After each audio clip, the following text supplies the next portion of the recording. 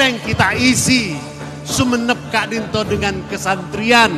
Karena memang reng sumenep aslina adalah santri semua itu adalah bukti nyata betapa kaum santri mendapat pengakuan sebagai pondasi kemajuan negeri ini. Namun, pengakuan tersebut jangan membuat kaum santri terlena dan berpuas diri karena tantangan lebih berat menanti di masa mendatang memasuki revolusi 4.0 para santri harus menyiapkan diri dengan potensi dan daya saing teknologi yang sangat ketat ke depan.